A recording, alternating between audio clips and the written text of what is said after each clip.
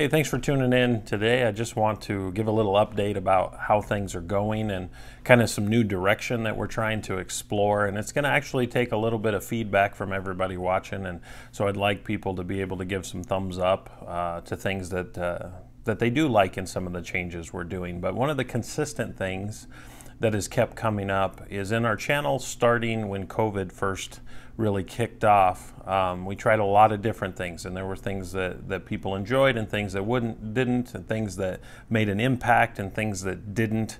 And one of the consistent things that keeps coming back around is the fact that a lot of people are missing the musical worship aspect um, that oftentimes come with the church services and the rest. And that's not something that I've been able to consistently provide on this channel. And so I have teamed up with, uh, ultimately par partnered with a, a, worship pastor to try to provide that. And so we're going to kind of go down that road for a little while and just seeing what that's like in providing that and a different element to be able to bring to our online uh, church service, that it would almost be a complete church service rather than just the message and just God's word on that because I do believe it's very important for us to have the musical worship aspect ahead of time because I believe there's a settling in our soul, a really an ultimate tone setting to to our hearts to hear God's word in that. And so we're going to explore this avenue for a little while to see if, uh, if this is something that works and something that people like. So please do me a favor, comment down below, uh, give a thumbs up if you do like the changes that we're making here, uh, just so we get a little feedback and know where we should go from here.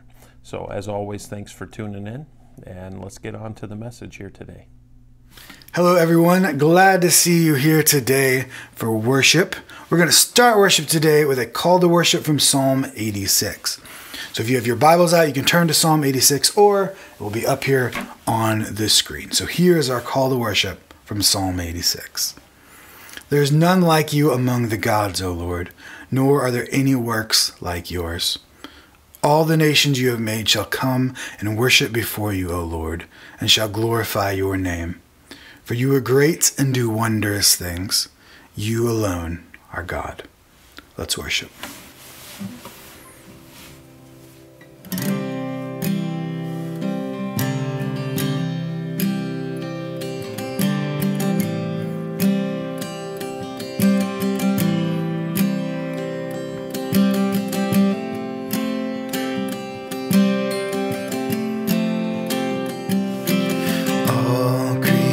Of our God and King. Lift up your voice and with us sing. Oh, praise Him.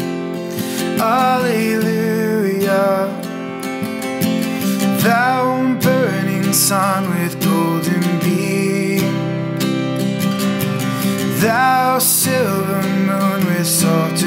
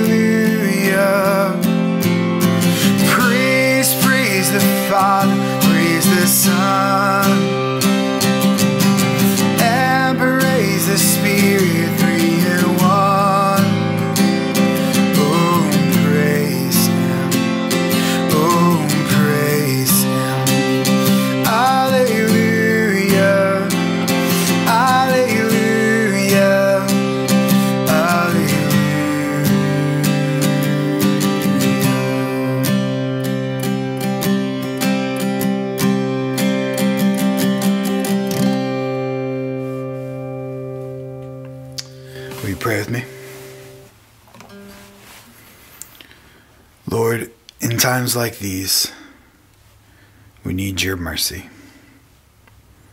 But not just in our own personal lives, but the world as a whole. So we ask now simply, Lord, show us your mercy.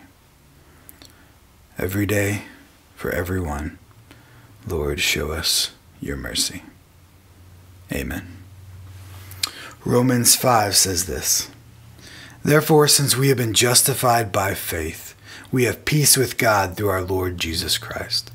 Through him we have also obtained access by faith into this grace in which we stand, and we rejoice in the hope and the glory of God.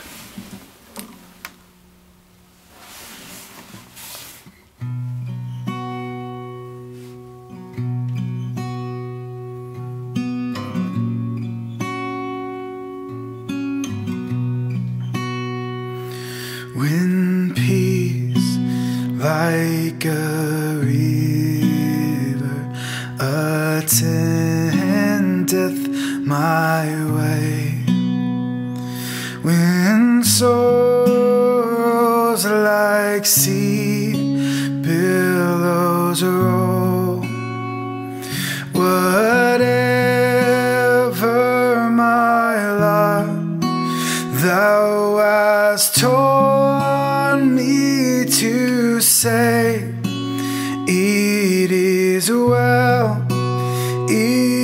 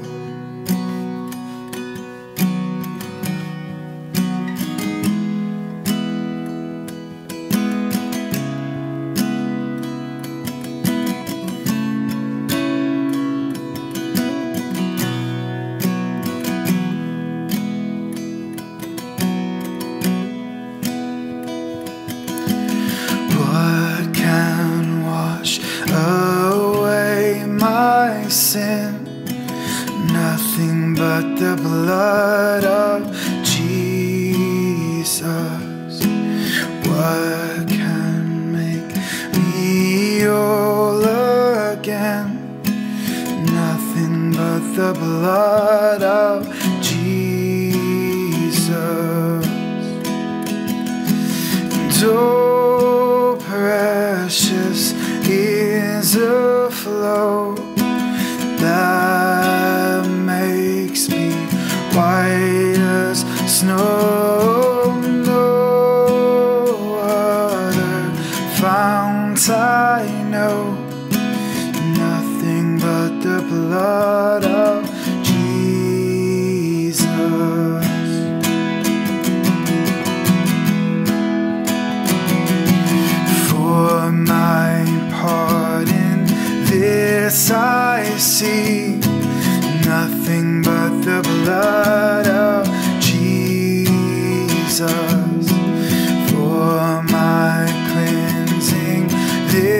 my plea, nothing but the blood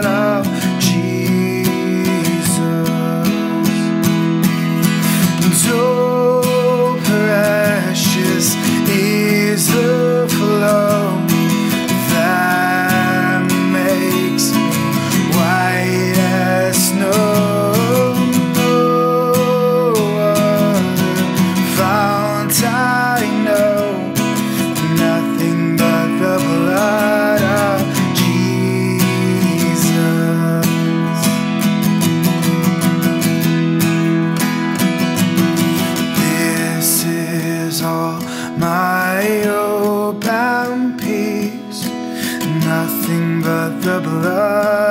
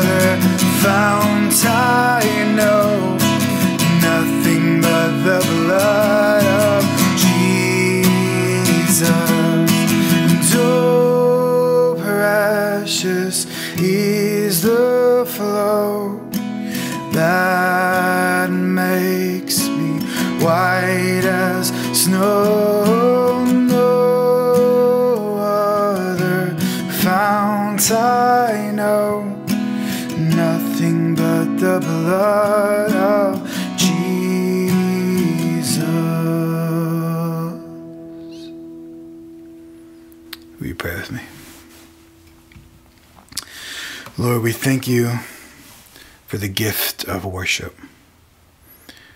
Even when everything around us is changing, we know that you do not. So today we thank you and we praise you for your unchanging grace, for your unending love, and for your unmatched glory. It's in your Son's name we pray. Amen. Hey, thanks for tuning in this weekend's online church service. I hope as part of the, the new things we're doing, I hope you really enjoyed uh, that musical aspect. And I just want to really reiterate with that, that if that's something that you, you are liking as we do it, give it a chance.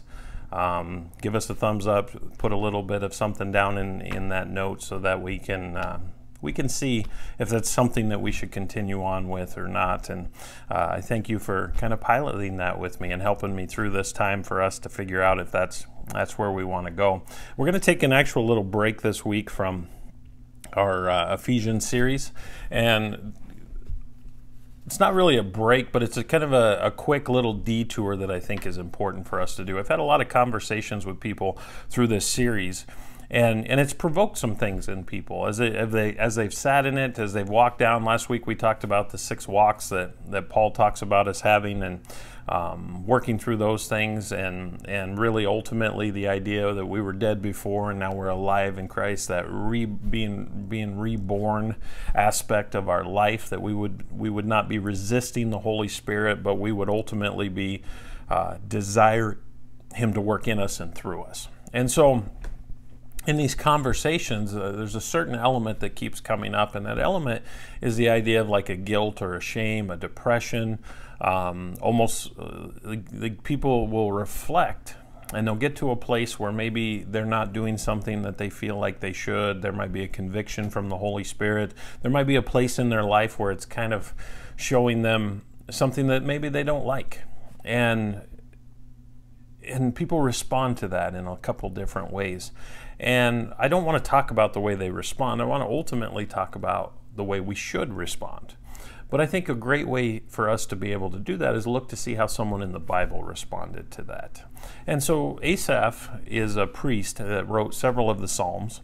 And we'll be in Psalm 77 today, but he ultimately has written multiple Psalms, and some of my favorite Psalms, as a matter of fact, have been written by him and his heart he is willing to have this openness about him that I think is just genuine, that is really quite incredible, as a matter of fact. And I believe that's what God wants for us in our life. And so if you felt like there's been a conviction or something's come up in your life in reflection and you feel like there's a, a, shame or a guilt or something that makes it depressive because there's just a lot going on in life and it just feels like it, the world is bearing down on you there's actually a proper way for us to handle that biblically in a model and asaph is going to walk us through that. And so if you have your bibles and you want to follow along we're going to be in in uh, psalm 77 here today and what i really want to talk about is isn't it amazing all the personalities that you get throughout the Bible. That that oftentimes just ordinary people do extraordinary things because they allowed God to use them in those things. And Asaph is one of those, but he's not the only one. There's a lot of personalities that we see throughout the Bible when we study it, which is why I believe it gives us such a great example of how we need to be in our life to keep a deepening relationship with the Lord, a real rich relationship with Him. Um, you know, when we become aware very quickly of all these different personalities in the Bible, we can start to associate with some of them. And one of them, you know, one of the personality things that come up quite often is the idea of that shame, that guilt, that depressive state. And I, I think Job is probably one of the greatest examples of that, is like the singled out man of God, blameless and upright in all that he did who's ultimately staggering and loses uh, for a really long and painful period in his life, really everything. And it brings him to a really low place in his life. Such a low place that if you read about Job in Job chapter 7, verses 6 and 7, he says, My days, they come to an end without hope. My eye will never again see anything good. Like, think about that concept Think about how low he must have been in that moment.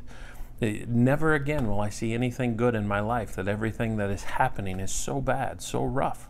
You know, Moses even descri- is described as the meekest man on earth in Numbers 12. And he rises up as one of the greatest examples of an ordinary man who ultimately was amazing because of his submission to God and walking out what God had for him in his life. He became one of the greatest of all Old Testament characters that people love to study because of that. You know, he was faced with such a huge task of being a leader and ultimately a general answerer of, of things as a man to million Hebrew people.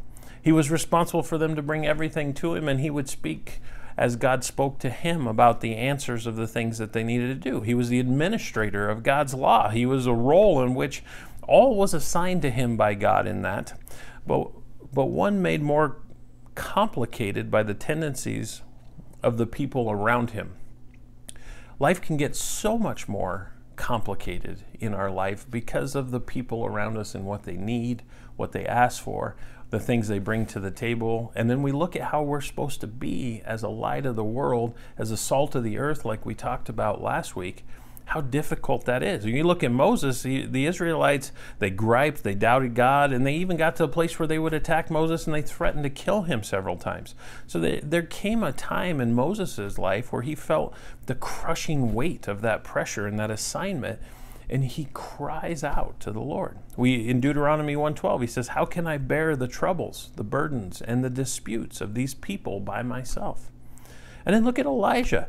Elijah was one of the greatest prophets of the Old Testament, and he asked for his life to be taken. It was so bad at one time. Look at David and his efforts to hide his sin. He, he has multiple journal entries in Psalms and for his history in First and Second Kings and First, Second Samuel, and the idea of uh, the, how much he lost totally in his strength in trying to, to walk out those things. If you read in Psalm 32, verse 2, he says, The ebony way of all that is worthwhile in life and groaning all day long. Like that speaks of an agony, that speaks of a hurt, that speaks of a lot of pressure in a person's life. And look at the character of Jonah. You know, Jonah is the first foreign ministry that became deeply de- dependent when God did, did not destroy Nineveh. He was called to be there. He wanted him to destroy it, and instead God called him to it. And so he just got he got so afraid, he got so depressed, he got he just couldn't function, almost to the point where he couldn't even do anything. And Jeremiah was so profoundly sad that he he is known to this day as the weeping prophet. And he confessed that he wished he had never been born. Like that takes a serious weight on somebody's life and dealing with problems to wish you had never been born.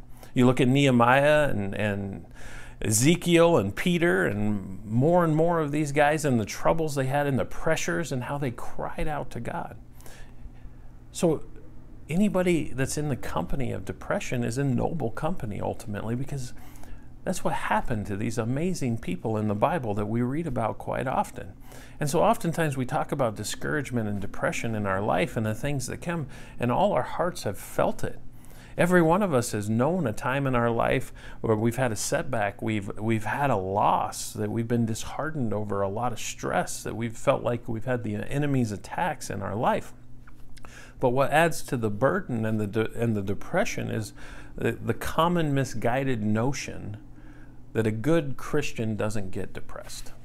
And I really want to talk about that concept here today because you know there, there's a lot of a lot of church uh, upbringing out there that has has led to this cliche that ultimately you just you just need to have more faith to get past that.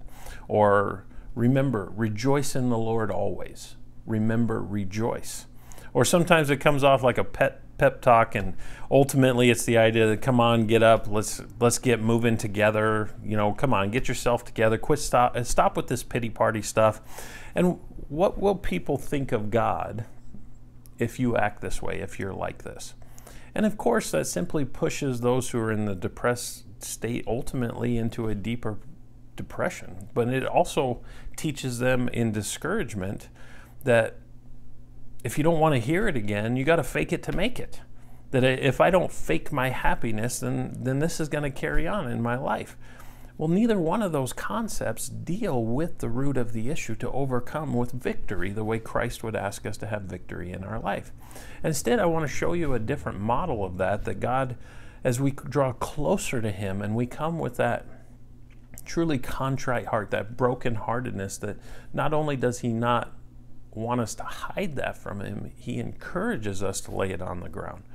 And so ultimately, the first thing I want to say is, is in verses 1 through 3 of Psalm 77, it says, I cry aloud to God, aloud to God, and he will hear me. In my day of trouble, I sought the Lord. My hands were lifted up all night long. I refuse to be comforted. I think of God. I groan. I meditate. My spirit becomes weak. We have got to send up an SOS to God. We have got to ask for that help. We have got to let Him know that we are in need. Because if it's all about how it looks and what the perception of it is, we miss the root and the heart of what's going on. And when the heart is hurting, it has to be healed. It has to become an overcoming. When we look at this, right away we, we hear the hopelessness in Asaph. He draws a picture of words that really is about desperation. And I believe there's a lot of people in this world, a lot of people in communities all over the United States that that are in that hopelessness, that despair, that, that are believers, that are Christians, but, but there's something heavy in their life and it makes it debilitating. And my wife and I, we, all, we often talk about the idea that if, if the devil won't make you bad, he'll make you busy. But then we also know that if he can't make you bad and he can't make you busy, then all he has to do is make you ineffective. So, whatever it takes for him to make us ineffective means we're not making an impact for Christ in people. And a lot of times, feeling that despair and being in that hopelessness, if we have a panic about us and we don't overcome and we can't get past that, we become ineffective for Christ. You know, Asaph felt like he was in this dark tunnel, only there's no light at the end of that tunnel for him. So when he when he says his soul refuses to be comforted, he means he's he's tried to shake it off, that he's tried to overcome, that he's been trying to get past it, but it isn't working. Because if it was, he'd already be sharing the victory of it. Look at how he closes here in verse 3 of that bit. He says that when he meditates, so when he ponders the situation, trying to think of his way through these problems, his spirit becomes weak, it says. So his emotions sabotage his own reasonable thinking. The escape of sleep eludes him, it says. It says he stretched out his hand like a drowning man longing to be saved. Think about that concept. He's wanting to be saved, he's wanting to be chased after, he's wanting the help that is needed for him to be able to have that. You know, maybe you can identify with Asaph and his feelings, but don't miss what his first response is here. In this battle with depression, he doesn't pretend. He doesn't bury his disillusions. He doesn't fake it till he makes it with the happiness. There's no indication that he turned to food or to drugs or to drinking or to shopping or to pornography or to gambling or to um, leaning on unhealthy people relationships to, to cope with the situation at hand. Instead, he got honest with God. When is the last time you just got on your knees and were honest with God in where you were in life, in your struggle. Because here, he's really honest with the Lord. You know, I cry out aloud to God, aloud to God. He shouted to God. He yelled his prayer. Verse 3, he described this further. I think of God. I groan. And the word groan can mean everything from a quiet noise to a raging explosion. If you are angry, share that. If you are hurt, share that, but don't tuck it in. Lay it at the foot of the cross so that you can have that conversation of honesty with the Lord and exactly where you are, not to hide it. You know, in verses 7 and 9, Asaph fills in some of those some of those prayer information that we need in this. So we we see he's hurting. We see he feels like he's absolutely helpless. But this is what verses 7 through 9 says. It says, Will the Lord reject forever and never again show favor? Has his faithful love ceased forever? In his promise to an end for all generation? Has God forgotten to be gracious? Has he in anger withheld his compassion? You know, Asaph cycled through this wide and uncontrollable rage of emotions that were just coming out of him. And he didn't try to hide that from God. You know, don't hide the things that are swirling around in you. Sometimes we need that that verbal processing. Sometimes we need that emotional processing with the Lord. The Lord already knows it's there. We're not hiding anything from him. Is are we willingness? Or do we have a willingness in our hearts to be honest with the Lord in those things? Especially at things he already knows. you know, when we read this stuff in what Asaph is going through, he was real. He had a reverence of the Lord. He was honest and still humble in how he brought it to the table. He asked God the, the hard question that depression raises in our in our hearts. And he found no indication that God would put it off. That he would just do nothing with it. Instead, he found that connection. You know, that wisdom of one thing, that unity, that that relationship we have with him, it has to be one that we are really ultimately willing to give it all to him. All the hurt, all the frustration, all the goodness, all the great things, all aspects of our life, including that which puts a shame in our life. Don't be ashamed to admit when you're just going through things in your life and there's a horrible battle going on inside of you. God wants to hear that. He wants to help straighten it out for us. He wants to help come along. As a matter of fact, the Bible promises that in Psalm 34 18, he says, The Lord is near to the brokenhearted and saves the crushed in spirit. When we have that and we're honest, like that's a promise from the Lord that we're comforted, that we're saved, that He's our refuge in those times. To pour your heart out, whether it be loud or whether it be soft, pour your heart out to the Lord because He wants to hear from you. If you read Psalm 51, if you go back and track it in the history of, of David's life, you know that that is the emotional explosion, the emotion that he's laying on the table to the Lord of his his contrite heart and what he did in killing Bathsheba's husband and, and, and sleeping with her. That his brokenness is written in those words. God wants us to bring our brokenness willingly to Him, to pour out our heart as loud as we need to or as softly as we need to. But if we're going to overcome this stuff in our life and not become ineffective, not allow it to infect us with a way that we no longer have an impact for Him, we're no longer salt, we're no longer light, we have to choose to redirect our thoughts.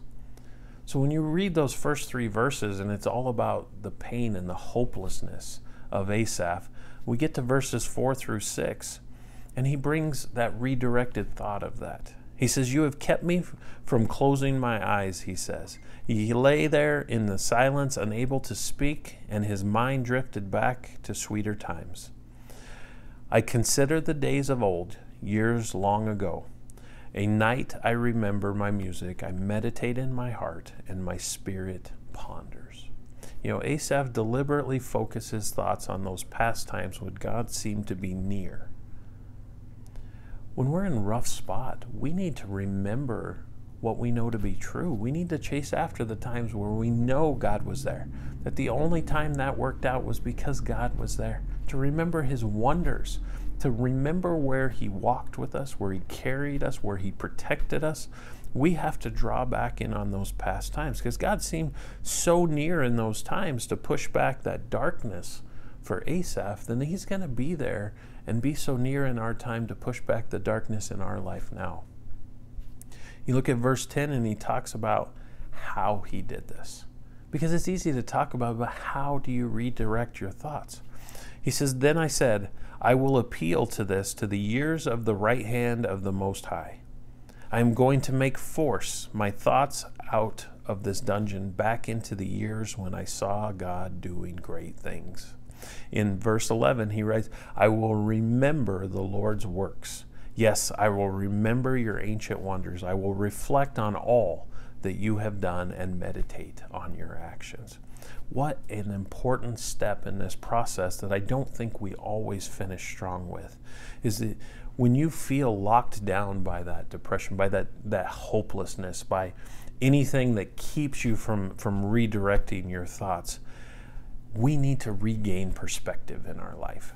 That's where the enemy gets a foothold in our life and he's controlling us and he's dividing us. We're getting hit with those fiery arrows and we need to armor up. You know it to be true. What do you know to be true in your life? You know, when trouble crowds in and just getting up in the morning seems like a chore, where does your mind go? Where do you lean to in those times? It leans toward how bad it is now it's it's easy to to think about how far away the future is and how hard it's going to be to get there and how I don't have enough energy and I don't feel good and I, I just don't like this and I want it to go away. That's when it's the most important time for us to call on that mental time out, to take that break, to refresh, to refuel, to get that perspective back. You know, it's ultimately looking at the rear view mirror of our life and seeing where God was so that we get that. You know, one of the things I do personally is I, have got to have a day to myself. When I get to a place where it gets rough or I start to struggle in my focus, I can't get my mind off and things feel heavy, I've got to have a day to myself.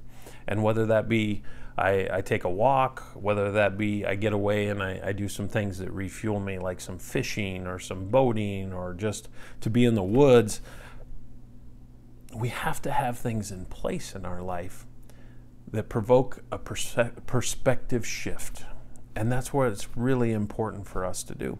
There's actually a, there's actually a, I don't know, an exercise that you can do that's been recommended to me. It's been coined the napkin exercise. I think Chip Ingram has, has mentioned it several times throughout life. And um, when you start to feel like things are going downhill and you start to feel like this is it, they recommend that that you you, you just put a pen in your pocket and you go find a restaurant somewhere. Order yourself something, get yourself an iced tea, get yourself a water, get yourself a soda, sit there, grab a napkin, and start writing things down. Start writing things down that you can think of that would be facts. And ultimately, specific things like what blessings were you given and do you have today? The blessings that you've had this week, the blessings you've had this month, the blessings you've had this year, uh, the blessings you've had your entire life at this point. And then write those down. Have them in front of you because like those are facts. Those are truth that you can stand on. And then start listing things like your top 10 answered prayers. List five people that you know love you no matter what. Five people that, that love you just the way you are, just the way you the way you live, just the way things are going right now, that you can guarantee that they love you. And write down the best things that have happened to you in your life. All so that you can redirect your perspective to get you what you know. This this is not a pointless exercise. This is like a biblical prescription. This gives us the opportunity to shift that perspective to remember that God is above our situation and our circumstance, that He is so much more than all those things in our life. So we, we send an SOS to God, but then we have to choose to redirect those thoughts in order for us to stoke up the hope of our life. Here, pretty soon, winter's coming in, and people's fireplaces are going to be going. And, and when they leave, they're going to take those wood stoves and they're going to stoke them full of stuff. And then they seal them off and they leave for the day. And that way, when they come back at night, it's still burning. It's still warm. That's ultimately what we're doing with our with our hope, with ourselves, is that we want to stoke that up so that way we can get through this time and when we come out on the other side there's still some embers, there's still a little flame. It's still warm. It still has the hope of what we needed in remembering that the Lord is above all things. He's above our situation and he's above our circumstance. And you know, when we look at the rest of 77 verses 13 through 20, they ultimately help us take that perspective and magnify God so that way our problems diminish. And that's what we need to do, just like Asaph says. You know, there, there's something about worship of the Lord that recalibrates our soul, but worship is not a natural instinct of our life, especially if someone is down and burdened it, it, they don't have a willingness, a hope, or an excitement to worship when things aren't going their way. That gloom kind of closes in. But Asaph willed himself to this worship. He made a choice. And there are deep, deep helpful benefits that we can glean from his story by doing that. He says, The waters saw you, God. The waters saw you. They trembled, even the depths shook, the clouds poured down, the storm clouds thundered, the arrows flashed back and forth. The second of your thunder was in the whirlwind, lighting it up in the world. The earth shook and quaked. You know, doesn't that sound like a person who is excited, that sees the power of something good, that goes from something that's helpless to something that is amazing, something that is incredible, something that is just an absolute unbelievable step of knowing. You know, there's a lady by the name of Kathryn Greene-McCreight and she wrote a book called Darkness and My Only Compassion. It describes really her tortured journey in life through 10 years of expression or depression and bipolar uh, disorder that she had to go through. And, and this is what she says because ultimately she talks about how God's church helped her. And she says it is so important to worship in community, to ask your brothers and sisters in Christ to pray for you. Sometimes you literally cannot make it on your own and you need to borrow from the faith of those around you. The companionship in the Lord Jesus is powerful. You know, that's, that's what Asaph is talking about. He concentrates on the benefits to come from God Himself. He first proclaims God's holiness. He says, God, your way is holy. That means it's unique. That means it's one of a kind. It's set apart. We can guarantee what other God is like that? what God is great like our God to overcome. You know, in verses 16 and 17, that's what I read. He throws this gauntlet against all the falsehood that's out there. He says, Your water, your waters saw you. The water saw you, they trembled, even the depths shook. The clouds poured down water, the storm clouds thundered. Your arrows flashed back and forth, meaning the lightning. Your thunder was like a whirlwind. Lightning lit up the world. The earth shook and quaked. See, worship moved from moved him from self-imploding into ultimately being a faithful declarer of the Lord. We have to make the steps in our life to will ourselves into worship of the Lord because it's a perspective shift. It allows us to overcome these things. It, God's deliverance in these things is what we look for. I mean, look at what Asaph said in, in verse 14. He says, You are the God who works wonders. You reveal your strength among the people. So when, we, when we're with our, our church, which when I say church, it's not the building, it's the people, the people who have declared Jesus Christ as their Lord and Savior. When we're around that, you know, God's God uses our community, our brothers and sisters in Christ to lift us up, to help overcome. And when we worship together, we willfully cause ourselves to worship the Lord. It brings something else to us. Verses 19 and 20 says, Your way went through the sea, your path through the great waters, but your footprints were unseen. You led your people like a flock by the hand of Moses and Aaron. Man, God is holy, and God is able to do anything. He has no trouble even altering the natural occurrence of life, whether it be the Red Sea being split, whether it be the order of things, the growth of things, the fruit of things. He's willing to change all aspects to deliver you, to deliver you from that darkness, to deliver you from those burdens. Asaph really locks into God's redemption of his people here. Verse 15, he says, With power you redeem your people, the descendants of Jacob and Joseph. That means God cares about me. That means God cares about you. He knows what's happening to you, He knows what's happening in you. He knows and has this supernatural ability to ultimately do all the things necessary to fulfill His promises to us that we can lean on Him, which means we can overcome this debilitating ineffectiveness to have an impact for Christ because we feel a burden of hopelessness and depression. I think when the enemy gets a hold of us and he stops us from making that impact, he, he wants to keep us there. And that's where we have to make the conscious, willful choice to not to be obedient to Christ, to worship Him, to overcome, and to get God back above our situation and circumstances and our perspective so that we can walk that out. You know, Asaph began with huge problems and a little God. But as he kept sending up those SOSs to God, he kept asking and kept pouring his heart out. He forced himself ultimately to get, get to the place where he saw those past blessings. And in that hope, he was strengthened. And with that strength, he used that to worship and give the glory to God. And because of that, God became big and his problems became small. And I feel like if we spent more time focusing on the Lord, and that we would use that to shift our perspective, that the enemy wouldn't have such a foothold in our life.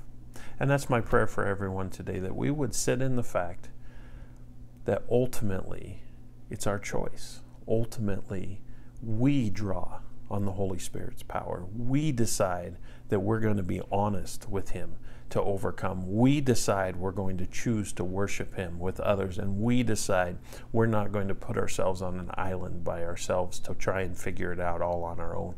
That we have brothers and sisters in Christ that we can draw on just the same, so that in the end we always know that God is above our situation and our circumstances. Would you pray with me here today, Father God? Lord, please, please keep us in the perspective to know, not think, not hope, know that you are above our situation, our circumstances, Lord. That any of this lowliness, this heaviness, this depression, Lord, that we fit in, Lord, it's just an opportunity for us to express that and to share that with you, Lord. And then your promises should fuel us, Lord, to overcome. It should fuel us to change our perspective, Lord, so that we can walk out and remember all the things you've done in our life so that we can continue to make an impact for Christ in this world, Lord. Lord, help us to fight over that. Help us to fight through that so that we can overcome and have that victory. And ultimately, Lord, rest in obedience in you. In Jesus' name, amen. Well, thanks for tuning in to this week's message. I hope it was inspirational. I hope there was something that was provoking in it for you, and I hope it's something that you could use to be transformational. We'll see you next time.